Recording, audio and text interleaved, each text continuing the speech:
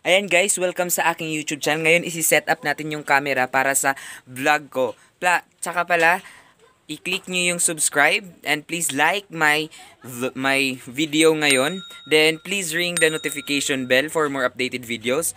So maraming salamat sa mga nag-view at mga nag-subscribe ngayon. We have 18 subscriber now sa aking YouTube channel. Sana manood kayo at tapusin nyo ang mga video ko at sana masiyahan naman kayo at ma magkaroon ng mga kaalaman sa aking mga vlog. Magsisimula na tayo ng vlog. So, magsiset up muna ako ng camera natin. So, bye-bye muna.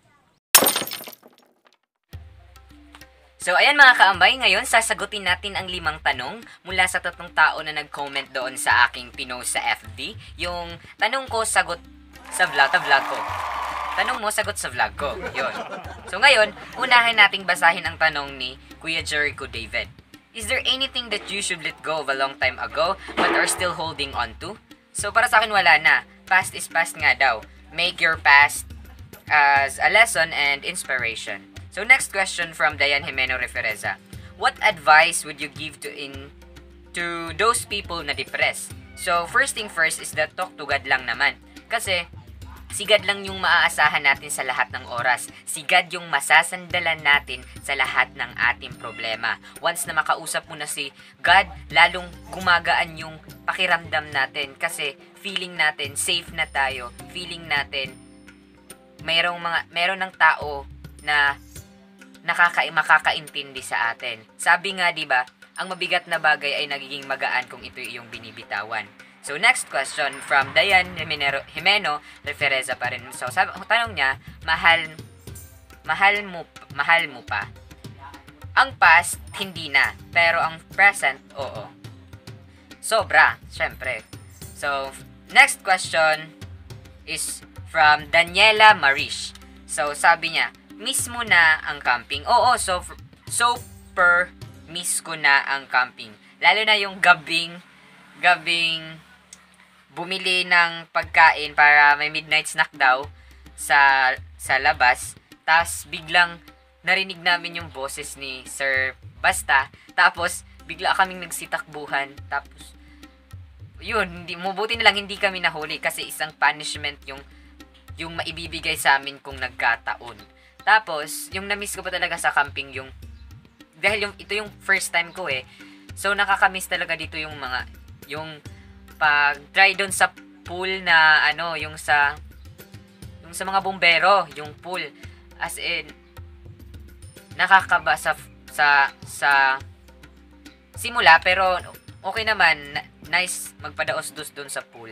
Tapos um, yung na-miss ko din yun, syempre yung mga kasamahan ko. Kasi, nagtutulong-tulong kami tapos yung flag kasi hindi dapat yun, ano, kahit saan mo lang ilalagay kasi kukunin yun ng mga officer. Tapos, sana magka-experience ulit ng camping. Sana nga. So, ngayon, uh, may another question from Ate Dayan Jimeno Refereza. Sabi niya, If you given a chance to be someone known for a day, who would it be and why?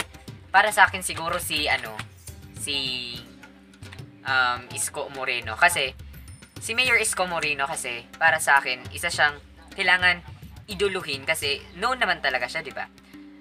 Trending rin siya. Ka, kailangan si Isko Moreno kasi yung isang tipo ng leader na kailangan mong sundin or kailangan mong i, uh, i idol. Si Mayor Isko Moreno kasi isa siyang ano, mabait na istrikto. Pero yung istrikto niya para sa kaiba, ikakabuti ng kanyang bayan. Ako, bilang as a aspiring public servant, um, gusto ko maging kapareho niya. Not like the other government official in reality na mga corrupt. So, sana wala nang ganun sa mga aspiring public servant dito sa Pilipinas. Um, kaya, si Mayor Isko Moreno rin kasi isa siyang jolly na mayor na hindi boring na mayor na kung saan nakikipagsabayan siya sa matanda man or sa mga kabataan man. So, parang balance lang yung trato niya, lalo na sa mga mahihirap na gusto niyang tulungan yung mga mahihirap, 'di ba? Nilin um may care lalo na yung care niya sa environment na kung saan nilinis niya talaga yung Maynila. As in, kung makita nyo, lalo, ah, nakita ako na sa mga pictures lang, pero sobrang linis na, lalo na sa mga pinapakitis, pinapakita sa mga video ng mga vlogger na iba. So, yun, si Mayor Isko Moreno ang the best para sa ako na known na gusto ko maging kay gusto ko makaserve sa tao in God's in God's way. Yun, sa paraan ni God. So, yun lamang ang mga tanong ngayong ngayong ngayong vlog na ito. So, sana may nakuha kayong mga aral sa atin. So, trivia tayo. So, ang trivia natin ngayon ay tungkol sa strawberry. strawberry. So, ang strawberry ay hindi siya hindi siya pamilya ng prutas. Hindi rin siya pamilya ng berry. Kundi, ang ang strawberry ay pamilya siya ng mga roses or ng mga roses, ng mga bulaklak.